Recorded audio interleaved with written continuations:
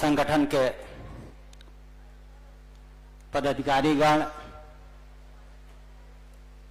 और भारत के कोने कोने से आए हुए हमारे बहुजन मूल निवासी साथी, आप सभी को क्रांतिकारी जय भीम, जय भारत, जय मूल निवासी बोलता हूँ।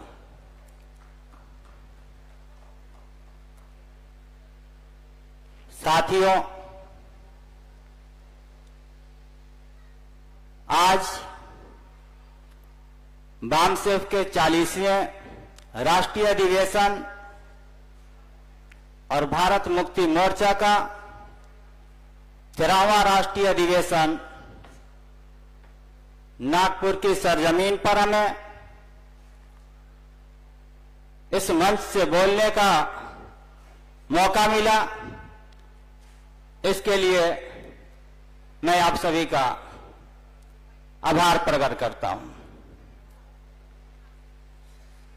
आज का जो विषय दिया गया है,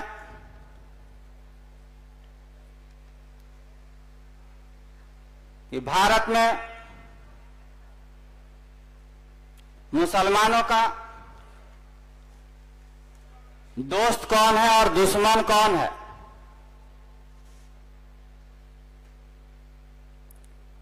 एक चर्चा का विषय।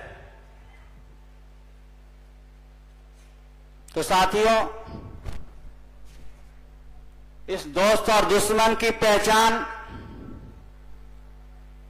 जहाँ तक के मैं समझता हूँ, आपके सामने रखने का प्रयास करूँगा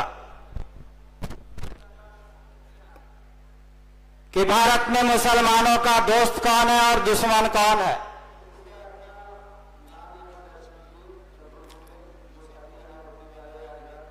और अपनी बात को विस्तार पूर्वक रखने से पहले एक पंक्ति आप लोगों के समक्ष रखना चाहता हूँ कि कहीं पर बुद्ध लिख देना, कहीं पर बुद्ध लिख देना, कहीं पर कबीर लिख देना, कहीं पर बुद्ध लिख देना कहीं पर कबीर लिख देना और कहीं पर संविधान लिख देना। और आप बड़े जीवन में कोई मुश्किल घड़ी तो चंदन की जगह माथे पर सिर्फ़ माँ लिख देना। जब आप बड़े जीवन में कोई मुश्किल घड़ी तो चंदन की जगह माथे पर सिर्फ़ माँ लिख देना। और जहाँ में हो, कहीं चर्चा की सच्चा संत कौन है? मेरे प्यारे मूल निवासियों, बाबा साहब भीमराव अंबेडकर का नाम लिख देना। बाबा साहब भीमराव अंबेडकर का नाम लिख देना। मैंने बहुत सारे संतों को देखा, धोती और लंगोटी में, लेकिन भारत में एक ऐसा संत पैदा हुआ जो कोट और पैंट, टाई लगा करके पूरे विश्व को ज्ञान दे दिया। तो साथियों, कि भारत में मुसलमानों का दोस्त कौन है और दुश्मन कौन है, इसकी पहचान? तो मैं समझता हूँ कि भारत में मुसलमानों का दुश्मन हुआ है जो भारत के हाल फ़िलहाल में तीन टुकड़े किए, भारत के मुसलमानों को तीन भागों में विभाजित किया। एक पाकिस्तान दे दिया और एक बांग्लादेश दे दिया और बाकी बचे कुचे को भारत दे दिया। वो सबसे बड़ा दुश्मन है। और इन्हीं दुश्मनों की पहचान कराने के लिए बाम सिर्फ़ लगभग 40 वर्षों से प्रयास कर रहा है। लेकिन अब तक के मुसलमानों को अपने दुश्मन की पहचान नहीं हो पाई, इसीलिए मुसलमान आज घाटे में है, खसारे में है। तो भारत को समय समय पर विभाजित करने वाले सिर्फ़ मुसलमानों के ही दुश्मन नहीं, भारत के मूल निवासियों के भी दुश्मन है, जिन्होंने अपनी मफाद के लिए, फ़ायदे के लिए समय समय पर भारत को खंडित किया है। मैं समझता हूँ कि इशारों इशारों में यह बात मैं आप तक पहुँचा दिया हूँ कि भारत का असली दुश्मन कोई और नहीं है। भारत का असली दुश्मन वही है जो ऊंच नीच पर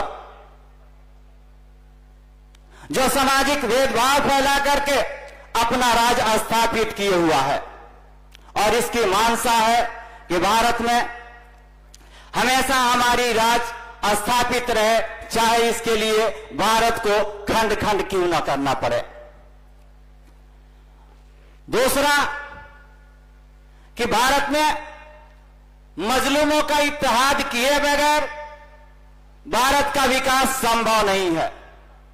तो भारत में कितने तरह के मजलूम हैं? बड़ी जल्दी आ गया।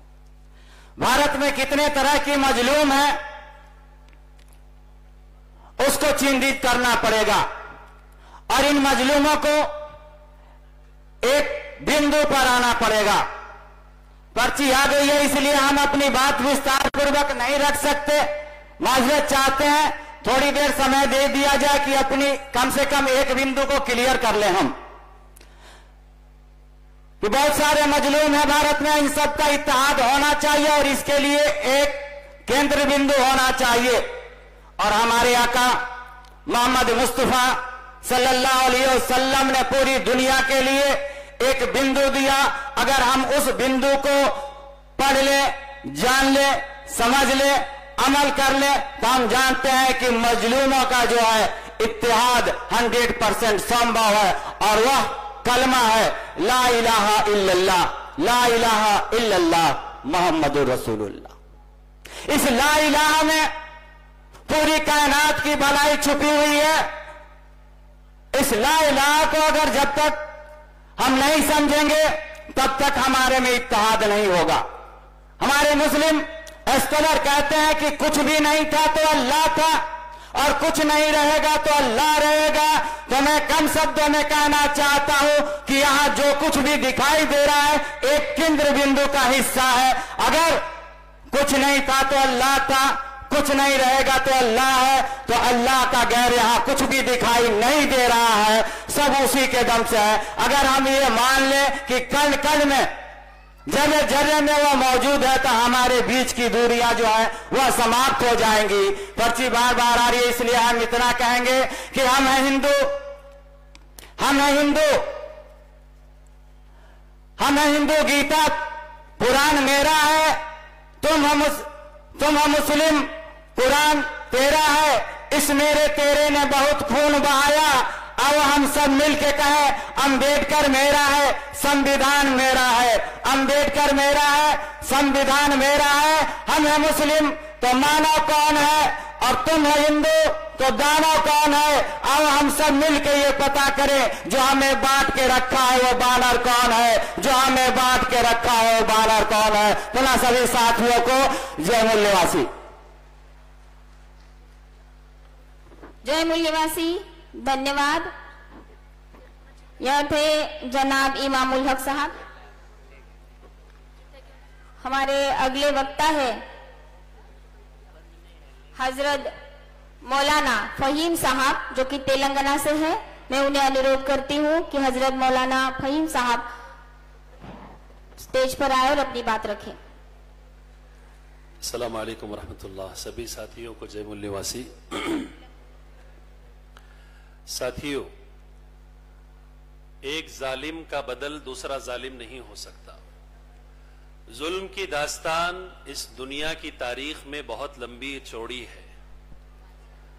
जालिम को जब पहचान लिया जाता है, जालिम के बारे में जब मालूम हासिल कर ली जाती है, जालिम को जब समझ लिया जाता है तो मजलूमों को चाहिए कि वो जालिम से निमटने के लिए और उसके जुल्म से बचने के लिए तरकीब करें और उसके लिए कोशिश करें।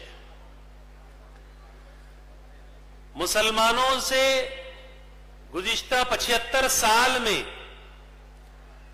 जालिमों ने मोहब्बतों का लुबादा या कपड़ा ओढ़कर ये कहा कि हम आपके भाई हैं। मुसलमान हमारा एक आँख का दर्जा रखता है। या ये कहा कि हम सेक्युलर हैं, तमाम को लेकर चलना चाहते हैं। मैं ये कहूँगा कि गुदिश्ता पचहत्तर सालों की गुलामी ने मुसलमानों को यह सबक दे दिया कि आपसे हमारा ना इंसानी ताल्लुक है, ना अखलाकी ताल्लुक है, ना वतनी ताल्लुक है, और ना ही किसी किस्म का सियासी ताल्लुक है। और यह साबित कर दिया कि हम जालिम हैं और तुम मजलूम कौम का हिस्सा हो।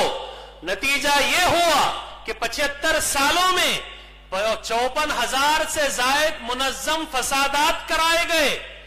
लाखों की तादाद में मुसलमान बच्चे जेलों में सड़ा दिए गए। 18-20 साल के बाद में बाइज्जत उनको बरी कर दिया गया और यह कहा गया कि इनके सिलसिले में एजेंसियों ने सही मानों में तहकीकात नहीं की थी। आज मुसलमान के बाद रिजर्वेशन नहीं।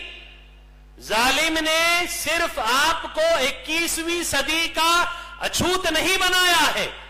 बल्कि इकोनॉमिकली अछूत बना दिया है। सच्चर कमेटी की रिपोर्ट के मुताबिक प्रतिदिन एक की आयु आज तीस रुपये से ज़्यादा नहीं है। एजुकेशनली आपको छूत बना दिया गया।